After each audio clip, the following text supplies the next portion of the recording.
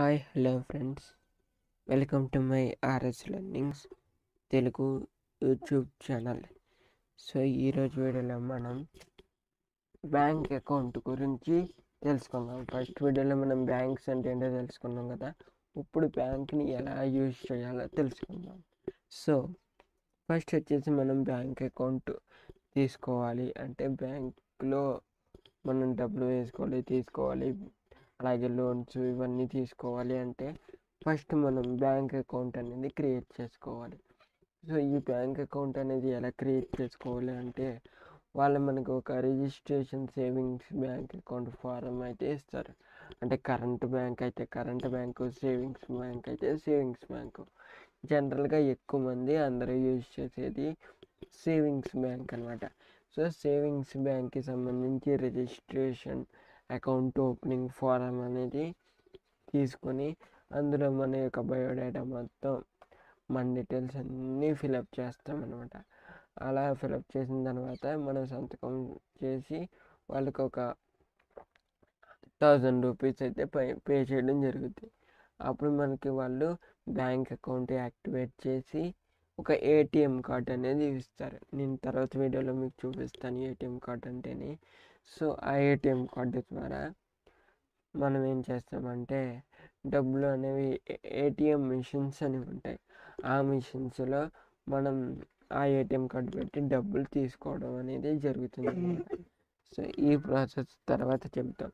First వచ్చేసి మనం bank account create చేసుకోగానే ఫైవ్ హండ్రెడ్ రూపీస్తో వాళ్ళు మనకి ఒక బ్యాంక్ పాస్బుక్ అనేది మన ఫోటోతో మన పేరుతో ఇస్తారు. చూసారు కదా మీకు ఎక్కడ చూపిస్తున్నాను. ఇది బ్యాంక్ పాస్బుక్ యొక్క ఫ్రంట్ పేజ్ అనమాట ఇది ఈ సింబల్ ఉందంటే ఎస్బీఐ స్టేట్ బ్యాంక్ ఆఫ్ ఇండియాకి సంబంధించిన బ్యాంక్ పాస్బుక్ అనమాట సో బ్యాంక్ పాస్బుక్ అంటే ఏంటో చెప్తాను ఇప్పుడు మీకు. సో మీరు అకౌంట్ క్రియేట్ చేసుకోగానే వాళ్ళు మనకి పాస్బుక్ ఇస్తారు. ఆ పాస్బుక్లో మన bank account savings bank account అన్నాను కదా ఇలా రాసి ఉంటుంది అనమాట సో అందులో సిఐఎఫ్ నెంబర్ అకౌంట్ నెంబర్ మన బ్యాంక్ అకౌంట్ నెంబర్ అనేది ఉంటుంది. తర్వాత కస్టమర్ నేమ్ అంటే మన పేరు ఉంటుంది. నెక్స్ట్ అడ్రస్ మన ఇంటి address phone number email date of birth అలాగే marital status registration number. So అలాగే ఫోన్ ఈమెయిల్ బ్యాంక్కి సంబంధించిన డీటెయిల్స్. Branch code. బ్రాంచ్ అంటే ఏ ఊర్లో ఉంది దానికి సంబంధించి కోడ్ కూడా ఉంటుందన్నమాట. ఇప్పుడు పిన్ కోడ్ ఎలాగో డిస్ట్రిక్ట్కి అలా బ్రాంచ్ కోడ్ అనమాట బ్యాంక్స్కి. డేట్ ఆఫ్ ఇష్యూ అంటే ఇది మనకి ఎప్పుడు ఇచ్చారు బుక్ అనేది ఇష్యూ ఉంటుంది. నెక్స్ట్ ఇది date. Next IFSC code MICR code continuation. ఇవన్నీ మీకు తర్వాత చెప్తాను. ఇలా కోడ్ అనేది చేస్తే దీన్నే బ్యాంక్ పాస్బుక్ అంటాం. సో ఇందులో మనకి సంబంధించి అన్ని డీటెయిల్స్ ఉన్నాయి కదా. నెక్స్ట్ ఏంటంటే ఈ బ్యాంక్ పాస్బుక్ తర్వాత చూసినట్టయితే మీకు ఎలాగ ఉంటుందన్నమాట. ఇందులో ఇది మీకు బ్లాంక్గా ఉంటుంది.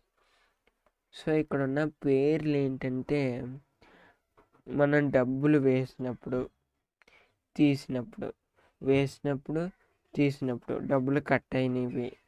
అలా మనకి సంబంధించిన ట్రాన్సాక్షన్స్ అన్నీ కూడా ఈ పాస్బుక్లో ఏ డేట్న ఎంత డబ్బులు వేసాము ఎంత డబ్బులు తీసుకున్నాము రిమైనింగ్ బ్యాలెన్స్ ఇవన్నీ కూడా చూపించడం అయితే జరుగుతుంది.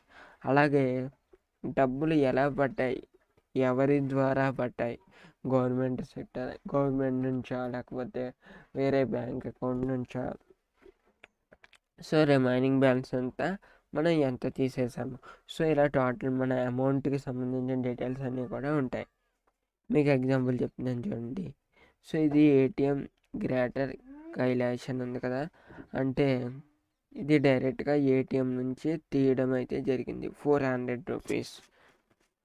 సో ఈ ఫోర్ హండ్రెడ్ రూపీస్ తీసినప్పుడు ఇక్కడ రిమైనింగ్ బ్యాలెన్స్ చూపిస్తుంది. Four thousand four hundred eighty six rupees ఈ విధంగా ట్రాన్సాక్షన్ అనేది చూపిస్తుంది అనమాట నెక్స్ట్ వచ్చేసి ఇందాక మనం డిపాజిట్ అన్నాను కదా అంటే డబ్బులు వేయటం అన్నాను కదా.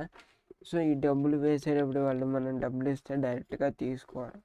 ఎందుకంటే ఫస్ట్ వాళ్ళు మనకు ఒక డిపాజిట్ ఫామ్ అనేది ఇస్తారు.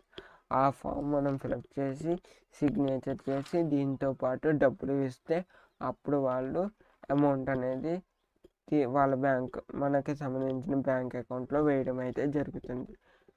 సో ఇది ఎలాగో చూద్దాం. వాళ్ళు ఇచ్చిన డిపాజిట్ ఫార్మ్ అనేది ఇది. ఈ డిపాజిట్ ఫామ్లో స్టార్టింగ్ డేట్ అని ఉంది కదా అంటే ఎప్పుడు వేస్తున్నామో ఆ డేట్. మన బ్రాంచ్ బ్రాంచ్ అంటే ఏ ఊరు అదే ఇక్కడ అంటే ఆ బ్యాంకు ఏ ఊర్లో ఉందో అది బ్రాంచ్ నేమ్ అవుతుంది అనమాట ఆ బ్రాంచ్ నేమ్ ఇక్కడ రాస్తాం. సో ఆ తర్వాత ఇక్కడ అకౌంట్ నెంబర్ అని ఉంది కదా ఇది ఫస్ట్ మీకు బ్యాంక్ బ్యాంక్ పాస్బుక్ చూపించాను కదా ఫ్రంట్ పేజ్. ఆ ఫ్రంట్ పేజీలో అకౌంట్ నెంబర్ అని ఉంటుంది. ఆ అకౌంట్ నెంబర్ అనేది ఇక్కడ రాస్తాం పెన్తో. ఆ తర్వాత for the credit bank account of అంటే ఎవరికి బ్యాంక్ ఎవరి పేరు మీద డబ్బులు వెయ్యాలి అని అడుగుతున్నాడు అనమాట సో ఎవరు? ఆ బ్యాంక్ అకౌంట్ ఎవరి పేరు మీద రిజిస్టర్ అయితే వాళ్ళ పేరు ఇక్కడ రాస్తాం ఈ అకౌంట్ నెంబర్ కూడా మనం ఎవరికి డబ్బులు వేయాలనుకుంటున్నామో ఆ అకౌంట్ నెంబర్కి వేస్తాం ఆ అకౌంట్ నెంబర్ ఇందులో రాస్తాం ఆ తర్వాత టోటల్ డిపాజిట్ ఇన్ వాట్స్ అంటే ఎంత డబ్బులు వేస్తున్నామో ఇక్కడ ఇందులో మనం ఫిలప్ చేయడం జరుగుతుంది. ఇక్కడ బ్రాకెట్లో ఇన్ వాట్స్ అని ఉంది కదా.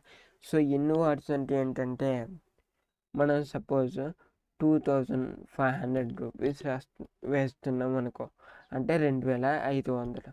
సో ఇందులో ఎలా రాస్తామైతే అంటే twenty five thousand five hundred rupees only అని ఇందులో రాయాలన్నమాట. In words. అప్పుడు ఆ తర్వాత ఏం చేయాలి అంటే ఇక్కడ మళ్ళీ బ్రాంచ్ నెంబర్ రాయాలి. ఆ తర్వాత డిపాజిట్ ఇన్ అకౌంట్ ఇక్కడ ఉంది కదా ఇందులో ఈ డబ్బులు నెంబర్ వేయాలి two five double two five five zero అలా నెంబర్ వేసి కింద టోటల్ డిపాజిట్ ఇన్ ఫిగర్లో టోటల్ అమౌంట్ వేసి వాళ్ళకి ఒకవేళ పాన్ నెంబర్ ఉంటే ఆ పాన్ నెంబర్ వేసి మన signature signature of the depositor ఎవరైతే డబ్బులు వేస్తున్నారో వాళ్ళ సిగ్నేచర్ అనేది ఇక్కడ చేయాలన్నమాట.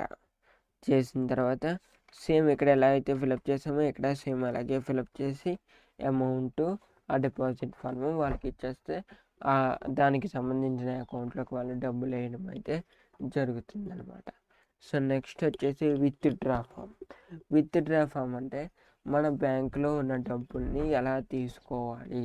అంటే వాళ్ళు మనకి ఇలా విత్ డ్రా ఫామ్ అనే ఒకటి ఇస్తారనమాట ఈ విత్ డ్రా ఫామ్ దేనికంటే వాళ్ళ మన బ్యాంకులో ఉన్న డబ్బుల్ని తీసుకోవడానికి.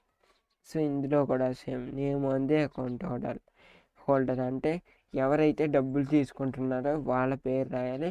ఆ మనిషి కూడా వాళ్ళ దగ్గర ఉండాలి వాళ్ళకి కనబడాలి. ఆ బ్యాంక్ అకౌంట్కి సంబంధించిన మనిషి. సో అతని పేరు రాయాలి. రాసి డేటు. ఎప్పుడైతే డబ్బులు తెస్తున్నామో ఆ డేటు బ్రాంచ్ అంటే ఇందాక చెప్పాను కదా ఏ ఊరు బ్రాంచ్ అయితే ఆ ఊరు. Next account number. ఆ తర్వాత రూపీస్ ఆ తర్వాత రూపీస్ ఇన్ వాట్స్. ఇక్కడ రూపీస్ అంటే టూ టూ థౌజండ్ అనుకున్నాం ఇప్పుడు. టూ థౌజండ్ అని ఇక్కడ మామూలుగా రాసేసి ఇందులో టూ థౌజండ్ హన్ టూ థౌజండ్ రూపీస్ ఓన్లీ. అని రాస్తాం. ఆ తర్వాత ఇక్కడ మొబైల్ నెంబర్ ఇచ్చి తర్వాత signature of the account holder ఎవరి బ్యాంక్ నుంచి అయితే డబ్బులు తీస్తున్నామో వాళ్ళ యొక్క సిగ్నేచర్ ఇందులో పెట్టాలన్నమాట. పెట్టిన తర్వాత వాళ్ళకి ఇచ్చేస్తే వాళ్ళు మనకి టోకెన్ నెంబర్ ఇచ్చి వెయిట్ చేయమని మన టోకెన్ నెంబర్ వచ్చాక ఇందులో ఎంత అయితే అమౌంట్ రాసామో ఆ డబ్బులు అనేవి మనకి ఇవ్వడం అయితే జరుగుతుంది. ఈ విధంగా బ్యాంక్లో ఉన్న డబ్బులు అనేవి మనం తీసుకోవడం జరుగుతుంది. So next cheque so cheque అంటే ఏంటంటే ఇప్పుడు త్రీ ల్యాక్స్ ఫోర్ ల్యాక్స్ అలా బ్యాంక్ అకౌంట్లో ఉన్నాయి అంటే వాళ్ళకి చెక్ అనేది ఒకటి ఇస్తారనమాట సింపుల్గా. అంటే వాళ్ళ ఇప్పుడు బ్యాంక్ ఎంప్లాయీస్ ఉన్నప్పుడు వాళ్ళకి చెక్ ఇస్తారు వాళ్ళ హెడ్ హెడ్ అనమాట వాళ్ళ హెడ్ మనకి చెక్ అనేది ఇవ్వడం జరుగుతుంది. ఆ చెక్కు మనం తీసుకొని బ్యాంకుకి ఇస్తే వాళ్ళు మనకి ఆ చెక్లో ఉన్న అమౌంట్ అనేది ఇస్తారు.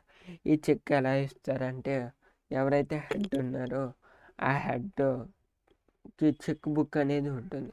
ఆ చెక్ బుక్లో ఒక పేపర్ చింపి దాని మీద ఎంతైతే డబ్బులు ఇవ్వాలనుకుంటున్నాడో ఆ డబ్బులకి ఫైవ్ థౌజండ్ ఓన్లీ అలా రాసి ఆ ఫైవ్ థౌజండ్ ఇందులో అమౌంట్లో వేసి ఇక్కడ డేట్ ఆఫ్ బర్త్ వేసి zero one zero one two zero two zero అంటే డేట్ వన్ జనవరి అయితే జీరో వన్ ఆ తర్వాత ఒకటో తారీఖు అయితే జీరో వన్ జనవరి zero one two thousand twenty అయితే two zero zero two zero అలా వేసి అమౌంట్ రాసి బాక్స్లో వేసి ఫోన్ నెంబర్ రాసి సిగ్నేచర్ చేసేస్తే వాళ్ళు ఈ చెక్ తీసుకొని డబ్బులు ఇవ్వడం అయితే జరుగుతుందనమాట సో అది కూడా చెక్ ఏ బ్యాంక్ పేరు మీద ఉంటే ఆ బ్యాంక్ దగ్గరికి వెళ్ళి తీసుకోవడం అయితే జరుగుతుంది. ఈ విధంగా డబ్బులు తీసుకోవచ్చు. సో చూసారు కదా ఫ్రెండ్స్ మీకు కనుక నా వీడియో నచ్చినట్టయితే లైక్ చేయండి షేర్ చేయండి సబ్స్క్రైబ్ చేసుకోండి. So, thank you all.